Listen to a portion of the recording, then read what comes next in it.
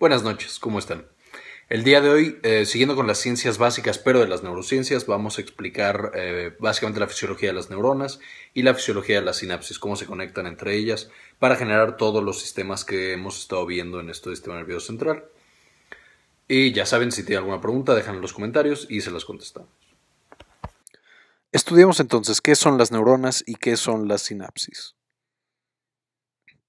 Evidentemente, estudiando el cerebro, encontramos que las neuronas y las sinapsis están embebidas en este, aunque, como veremos un poquito más adelante, las sinapsis también se pueden presentar entre neuronas y otras células o células independientes del sistema nervioso central, como las famosas sinapsis inmunológicas. Ahora, por mucho tiempo se pensó, en una teoría llamada teoría reticular, que el cerebro constaba de una gran, gran red de muchas conexiones por todos lados, continuas entre ellas y que la información viajaba por absolutamente todo el cerebro y que cada una de las partes del cerebro interpretaba esta información de manera diferente, dándole un significado final. Esta teoría prevaleció por mucho tiempo, hasta que en el siglo XIX unos científicos generaron el avance suficiente como para que se desacreditara esta teoría. Primero estuvo el eh, gran científico Golgi, este diseñó una tinción llamada tinción argéntica en la cual ponía plata en las células y veía cómo se iban pintando algunas de ellas. Y fue con esta tinción tan famosa que el padre de la neurobiología actual, el científico Santiago Ramón y Cajal, desarrolló una tinción un poco más avanzada llamada doble tinción argéntica, en la cual al ser aplicada al cerebro por primera vez él encontró estas imágenes. Y con estas imágenes fue que revolucionó al campo científico y al campo específicamente de la biología, encontrando por primera vez que estas cosas, que luego él describiría que son células, eran las que generaban todas las funciones en el cerebro. O sea, el cerebro estaba hecho de estas células.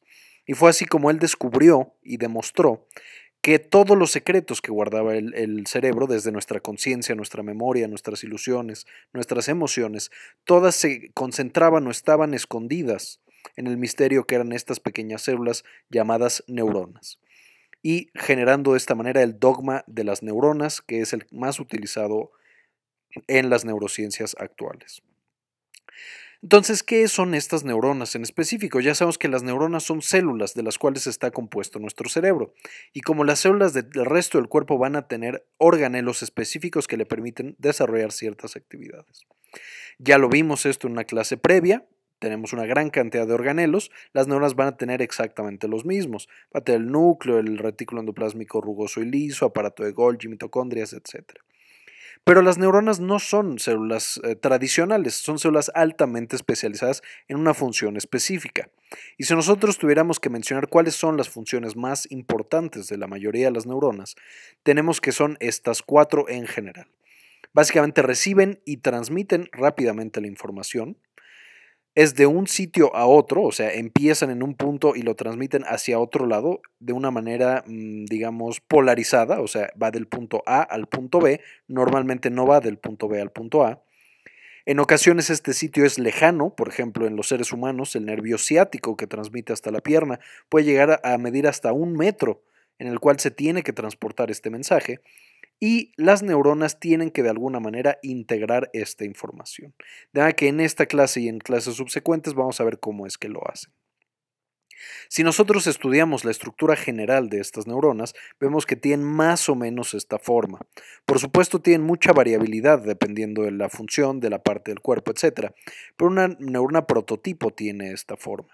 Básicamente tiene el lugar donde está el núcleo y la mayoría de los organelos, el cual es llamado soma, esta parte de acá. Del soma usualmente van a salir una o varias dendritas, que son ramificaciones muy muy delgadas que no poseen organelos o poseen muy muy poquitos organelos, más allá del citoplasma, perdón, de, sí, del citoplasma y de los microtúbulos que le dan la estructura. También de este eh, soma va a haber una otra proyección más gruesa y que esta va a tener una va a estar recubierta de grasa en su mayoría, llamada eh, una grasa llamada mielina, y todo este caminito, todo este conducto va a ser llamado axón. Entonces, este axón se va a ir prolongando hasta llegar a unas ramificaciones también muy delgaditas llamados axón terminal o telodendritas también se pueden llegar a llamar. Ahora, lo que conecta al soma con el axón se va a llamar cono axónico y va a ser muy importante en la transmisión de la información eléctrica, lo vamos a ver más adelante en otros videos. Básicamente lo que sucede, lo vamos a ver un poquito más adelante, pero es que el estímulo llega a esta neurona hasta el soma o hasta las dendritas, esto es lo más común. Entonces una neurona de acá le manda el mensaje a esta a través de sus dendritas, que es lo más común, o puede ser también a través del soma. Este va integrando la información de estas, no solamente de esta que ya pinté, sino por ejemplo aquí puede haber otra neurona que le manda otro mensaje y otra por acá. Y esta neurona va a ir integrando. Todas las azules vamos a suponer que inhiben a esta neurona, la roja estimula, entonces esta neurona va a irlas promediando, por así decirlo, decide si se va a activar o no, y al activarse en el cono axónico es que empieza la transmisión nerviosa hasta que en, la, eh, en las teledendritas o en el axón terminal va a mandar su mensaje a su vez a una neurona subsecuente. Entonces ahora esta lo manda a la siguiente neurona. De manera que la información pasó del punto A o de la neurona A a la neurona B, a través de dendrita, soma y axón, hasta la neurona C.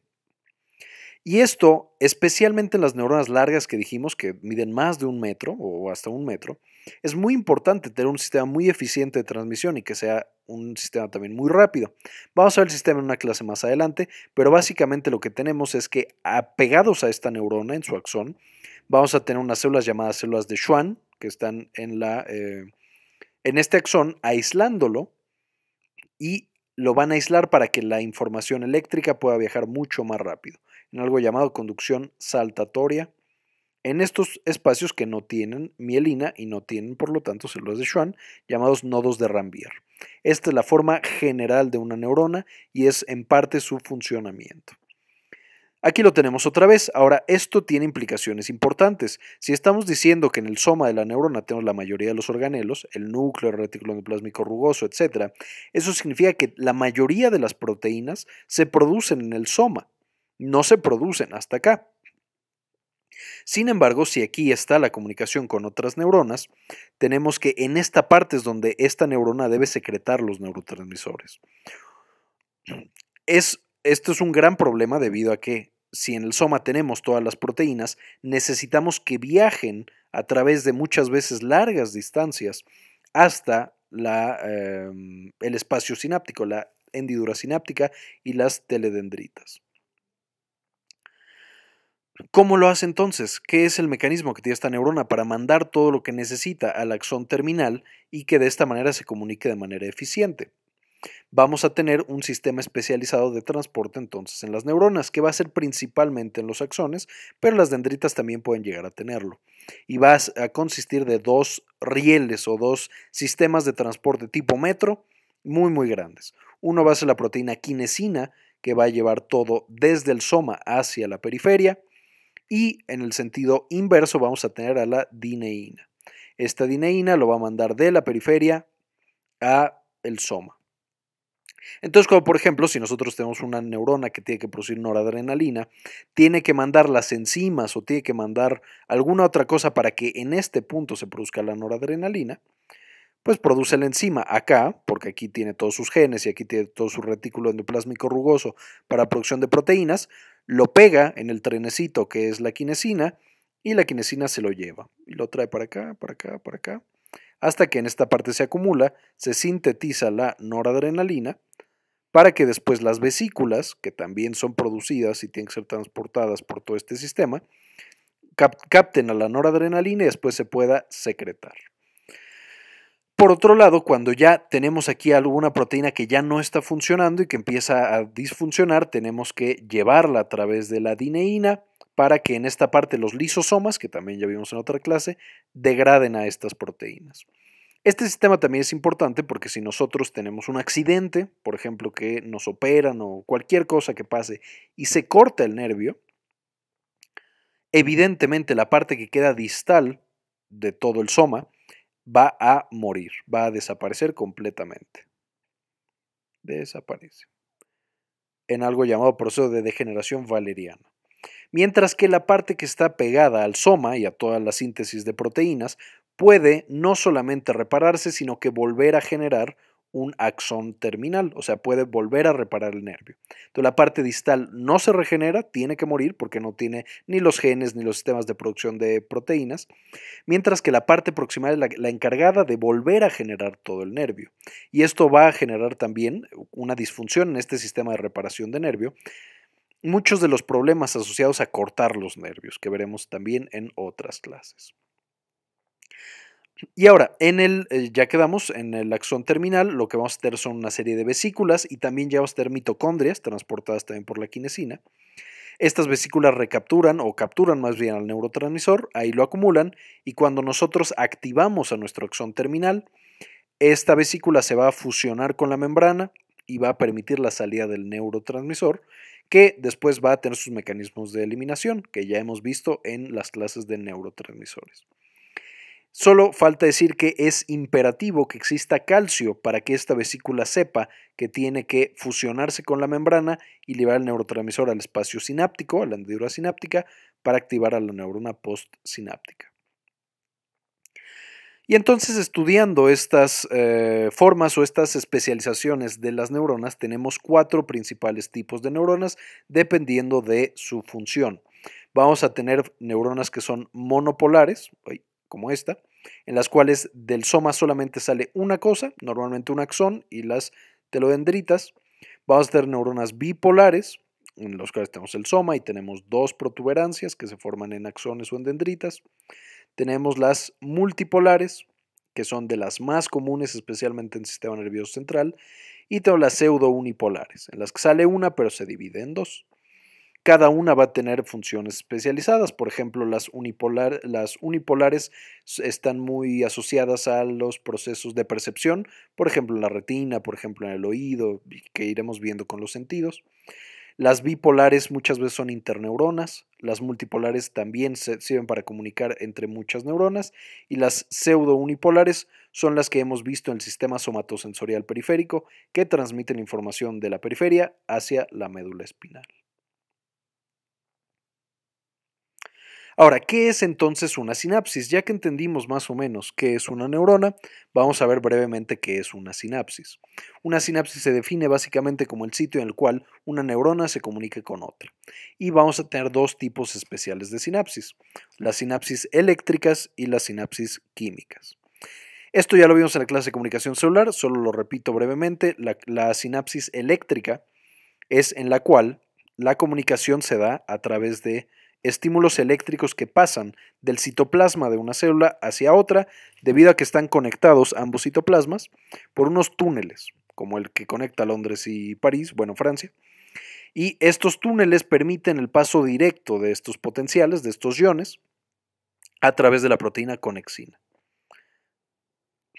También lo importante de esta sinapsis eléctrica es que es bilateral, o sea, igual pueden pasar los iones de la neurona A a la neurona B, como pueden pasar de la neurona B a la neurona A.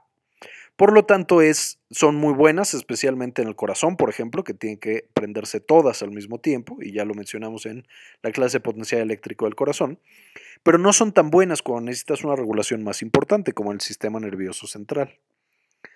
Ahora, si nosotros analizáramos eléctricamente, le pusiéramos un electrodo a nuestra neurona presináptica y a nuestra neurona postsináptica, veríamos que la despolarización, o sea, esta información eléctrica, se da prácticamente de manera inmediata.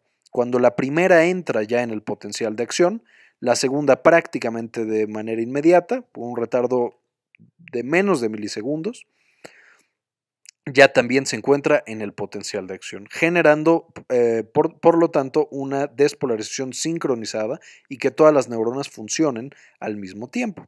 Y esto ya quedamos es por el flujo de potencial. Esto es especialmente importante en el hipotálamo, ahorita lo vamos a ver. ¿Cuál es el problema o las limitaciones que tiene este sistema?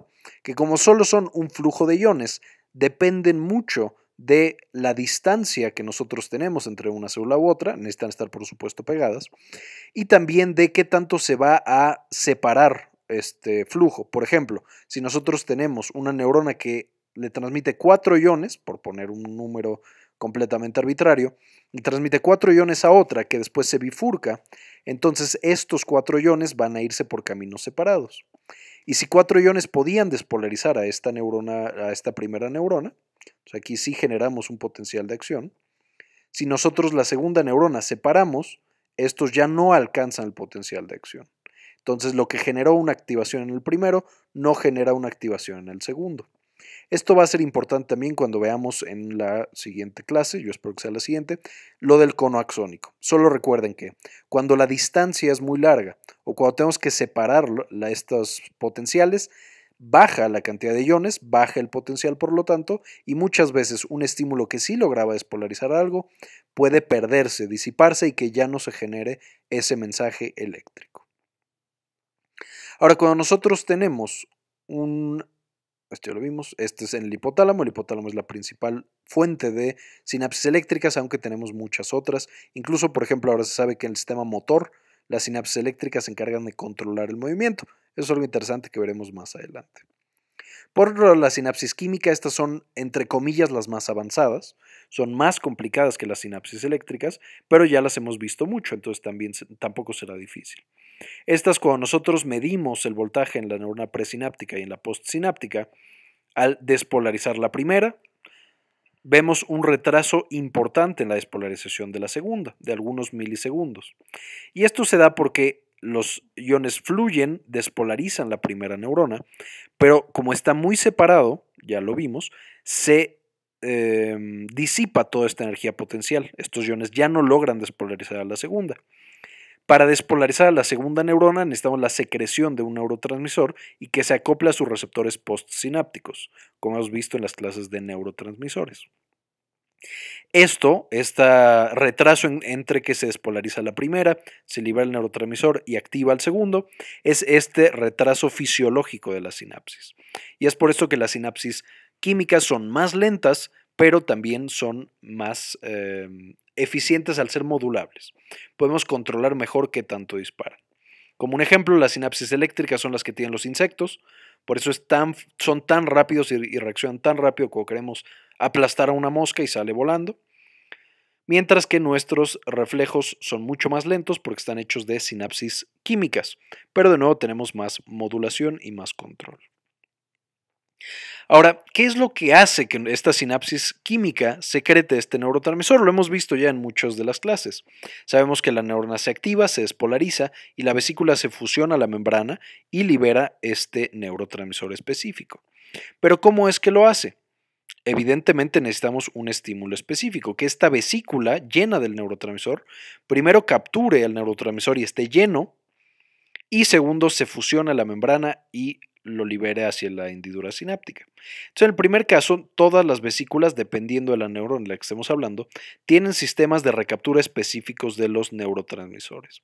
Por ponerles solamente un ejemplo, hay una proteína llamada VMAT, que es la que se encarga de llenar de eh, las catecolaminas a las vesículas, por ejemplo, la noradrenalina. Entonces, ya que tenemos esta vesícula llena de noradrenalina, va a esperar, va a esperar y va a esperar y no se va a activar. De repente llega alguna despistada que sí se pega y libera un poquito de neurotransmisor antes de que le tocara su tiempo. Y a esto le llamamos una estimulación basal. Se llaman micropotenciales. Y estos micropotenciales se pueden, eh, si tú pones un electrodo, vas a detectar que cada hora nuestra nueva postsináptica, a pesar de que tú no le hagas nada, de repente se va a prender así con un micropotencial una o dos veces. Y entonces sabes que las vesículas despistadas se pegan y liberan el neurotransmisor. Pero en general estas estimulaciones son muy muy pequeñas. Ahora, para que nosotros tengamos una liberación de grandes cantidades de neurotransmisores a la hendidura sináptica y por lo tanto activemos suficientes receptores para causar despolarización de la membrana postsináptica, necesitamos organizar a muchas vesículas. ¿Y cómo la neurona le hace para organizar a todas estas vesículas? Pues tiene un estímulo muy específico que se van a llamar proteínas SNARE. Estas proteínas SNARE van a estar en estas vesículas que ya mencionamos, van a estar pegadas, por ejemplo la sinaptobrevina, y van a básicamente ser como las chaperonas, van a llevarlas de la mano.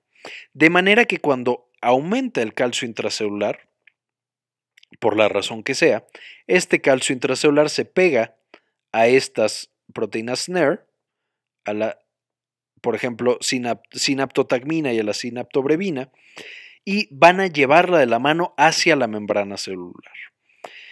Y estas proteínas NER van a generar todo un complejo. Este complejo lo que va a hacer es, ya que tenemos el calcio, a la, sinaptotagmina, va a llevarlo hacia la membrana, esta sería la membrana, esta sería nuestra vesícula, y todas estas serían las proteínas SNARE.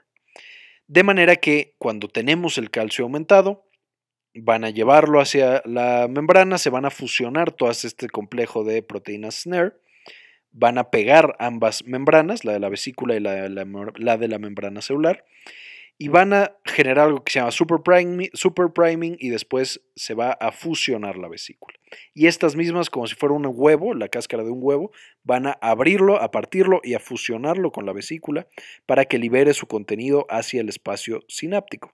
Más o menos, esto no se lo tienen que saber, pero 5 moléculas de calcio son necesarias por cada molécula de, o por cada complejo de SNARE para que libere el neurotransmisor. Y esto porque es importante, tenemos varias enfermedades relacionadas con este conjunto, con esta sinapsis, entre las cuales para su estudio solamente voy a mencionar las que están relacionadas en una de las sinapsis más famosas, la unión de una neurona motora con una célula muscular, o sea, la unión neuromuscular. Aquí tenemos, por ejemplo, em, la normal sería, una vez que nosotros activamos nuestro axón terminal de la neurona motora, vamos a tener los canales de calcio, que dependen de voltaje. Entonces, cuando llega la despolarización, el calcio va a entrar a través de estos canales y todas las vesículas que están cerca de la membrana van a fusionarse y van a liberar el neurotransmisor, el cual se va a acoplar a los canales, perdón, a los receptores de acetilcolina, nicotínicos, van a permitir que entre el sodio y entonces el músculo se contrae. Y nosotros movemos pues lo que queramos mover, porque esta acetilcolina salió y activó a su receptor. En el primer ejemplo de cómo podemos eh, evitar o cómo puede disfuncionar esta barrera o esta, perdón, conexión, esta sinapsis, tenemos a la famosa toxina botulínica. La toxina botulínica básicamente lo que hace es que se acopla a estos receptores SNARE, que son los que fusionan a las vesículas con la membrana, y evitan que esta vesícula verdaderamente se pegue a la membrana y libere el neurotransmisor. Entonces, estas vesículas que están completamente mm, inutilizadas ya no pueden liberar la acetilcolina, ya no pueden activar al receptor de acetilcolina y entonces ese músculo está paralizado y está flácido. Ni siquiera tiene tono muscular, porque como recordaron de la clase de contracción muscular, para que un músculo tenga tono necesitamos liberar la acetilcolina cada rato. Entonces, cuando nosotros le ponemos toxina botulínica, un músculo queda completamente flácido. Y como la toxina dura por meses, hasta seis meses, el músculo queda completamente flácido por seis meses. Esto es muy malo cuando nosotros ingerimos la toxina botulínica, por ejemplo, de una botella de refresco, y entonces quedamos flácidos y pues morimos en una intoxicación o en un botulismo.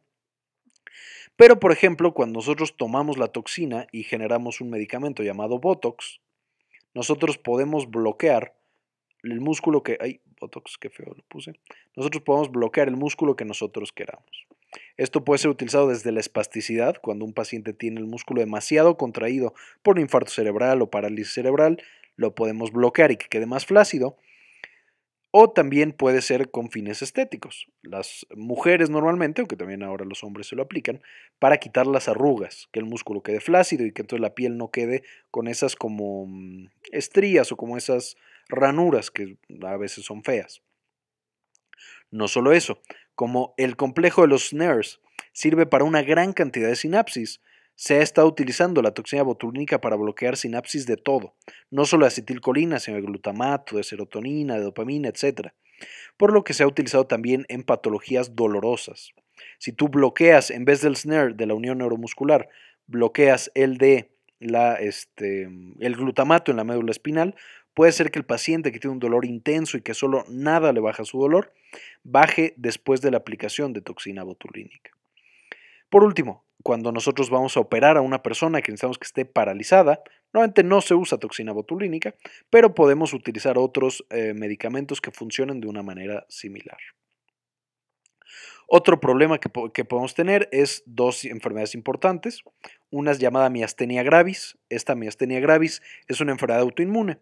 Nosotros generamos anticuerpos, nuestro sistema inmune ataca a nuestros receptores de acetilcolina y entonces por más que nuestra neurona, eh, nuestra motoneurona libere acetilcolina, esta no se puede pegar al receptor de acetilcolina y entonces el músculo no se puede mover quedamos básicamente paralizados por nuestro sistema inmune debido al receptor de acetilcolina.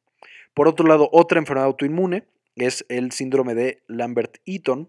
Este síndrome de Lambert-Eaton lo que bloquea es no el receptor de acetilcolina que está en el músculo, sino el canal de calcio que permitiría lo que ya vimos, que las proteínas SNARE se acoplen y liberen el neurotransmisor a la unión neuromuscular.